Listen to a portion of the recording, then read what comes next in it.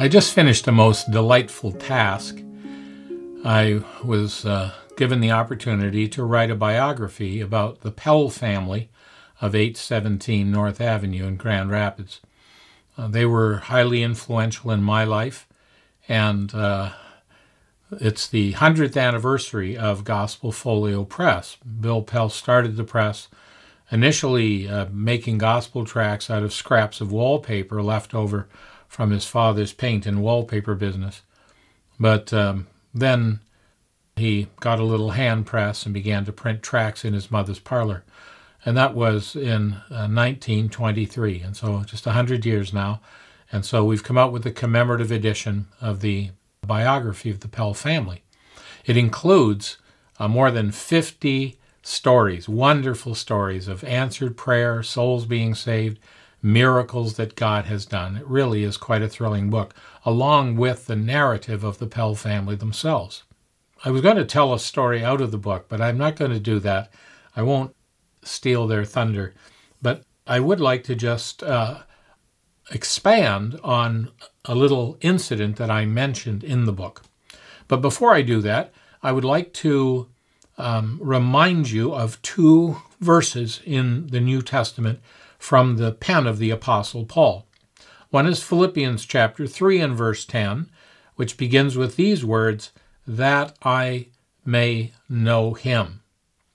And then in Ephesians 6:19, he asked the Christians to pray for him quote, that utterance may be given to me, that I may open my mouth boldly to make known the mystery of the gospel. And so these were the two great passions of the Apostle Paul to know him and to make him known. And that certainly was the case of the Pell family. Well, in the book, I mentioned very briefly that um, Peter Pell one of the one of the four preacher brothers. Um, his warm devotional teaching was greatly appreciated, and he traveled widely to proclaim the Word of God. And this is what I wrote. It didn't seem to matter where he began his Bible reading, he always led you to Christ. Gilles, this was a young man that I met, Gilles Gauthier and his dear wife Lorette, a young believer from Quebec City who was moving to Grand Rapids for studies, was handed a note by a friend before he left. Quote, if you want to meet a man who can't speak for five minutes without talking about the Lord Jesus, go and see this man. The name on the note was Peter Pell. Well, just a little background. Gilles, uh, raised in a Catholic home, uh, attended uh, the university, I believe Laval University, was taking a philosophy course, and um, most of the other students in the class were going through for the Catholic priesthood. But he noticed that there were two students in the class, and they carried little black books with them. He wondered what they were, but when issues came up in the class, they would refer to these little books and read them as authoritative. And he discovered that they were actually New Testaments. And uh, these two young people led Gilles to the Lord. Well, he, like the Apostle Paul, began preaching right away. He just went out on the street and he knew he was saved and he began to preach the gospel. And a Baptist group got a hold of him, they discipled him, and they decided to send him to the Baptist seminary in Grand Rapids, Michigan. And that's how he ended up getting this little scrap of paper with the name of Peter Pell. But he moved to Grand Rapids. It was busy, everything that was involved in getting registered and getting his classes and uh, getting a place for his family to stay and so on. He kind of forgot about that little piece of paper. But he said, you know, as I went out to these churches, there was something very different here. He said, uh, there was in his French accent, he said, uh, a great deal of the honor of men, praising men, exalting men. And he said, I was looking for a place where they gave all the honor to the Lord. And so it was that he started traveling around the city of Grand Rapids, until one morning, Sunday morning, he saw a sign out in front of a building, Northwest Gospel Hall, and it said that they had worship for an hour and a half on Sunday morning. He immediately parked his car. It was already past the starting time.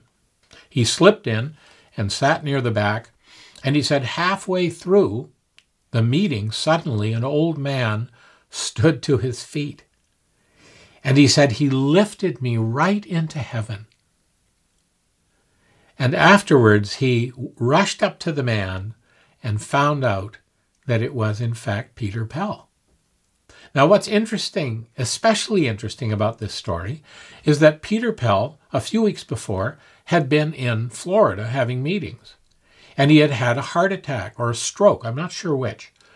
And um, they had taken him to the hospital there. Then he was released. He came back to Michigan and actually uh, got a, a room at Rest Haven Homes. This was the only Sunday that he was able to come out to the Lord's Supper at Northwest. After that, he began to lose strength and he attended a little Lord's Supper at Rest Haven Homes after that. He lived on for quite some months, and Gilles started going over to Peter Pell's little room. He would sit on the floor, he would ask him Bible questions, and Peter would pour into Gilles the glorious truths as uh, he spoke of knowing him and making him known. Well, meanwhile, back at the seminary, um, the professors noticed a new flavor in all of Gilles' writing. And uh, finally, that he was on a scholarship. And finally, they called him in and said, Listen, we are not going to pay your way through the Baptist seminary so you can go and start brethren churches. And he said, I have no idea what you're talking about. Who are what what are brethren churches? I've never heard of this. We know you've been in contact with the brethren. Why is that? Well, because we see in your writings that devotional style focusing on Christ, and we, we think you've been in contact with the brethren. he said, I've just been sitting listening to an old man, and every time I ask him a question, he will say to me, Turn to this passage of Scripture. And then I will read the Scripture, and he'll make a few comments on it. I ask another question, and he will say, Turn to this passage of Scripture. That's all I've been doing, and that's all he's been doing. Well, you know, they they finally said we we're just not going to do this, but they were afraid of throwing him out of the school because he had stood up against a professor who had denied the uh, the verbal plenary inspiration of Scripture. And so the school was afraid that if they put him out of the seminary, he would cause an upset about this professor. He wasn't going to do that, but they they were afraid that that he would uh, uh, cause trouble. And so they scrimped and saved. He said, you know, eventually they found actually more money for me uh, to not only pay for my tuition, uh, my books, and so on, but every all my living expenses, so that I I wouldn't leave the school. And uh, and he quoted the scripture to me: "When a man's ways please the Lord, he makes even his enemies to be at peace with him. But I'll never forget going to his uh, little apartment. His dear wife Lorette had made a lovely supper. And uh, while I was waiting for the supper to be prepared, I was sitting reading one of the manuscripts of one of his papers that he had prepared for the seminary. And I said, Gilles, this is lovely. This is very good. And he said, Ah, he said, when I wrote that paper, I committed blasphemy. I said, What? He said, Yes. He said, I wrote that whole paper, and not once did I bow down in worship. That, he said, is blasphemy. He said there's a lot of blasphemy committed here. Dear Christian, it's not only to make him known. You can't truly make him known unless you know Him in an intimate and personal way. And when we do, then He manifests Himself through us to others. May God help us to, to commit to these two foci, these two glorious centers of truth in the Word of God, around which everything else gathers. On the one hand, Philippians 3:10, that I may know him, and Ephesians 6:19, that I may open my mouth boldly to make known the mystery of the gospel, to know him and to make him known.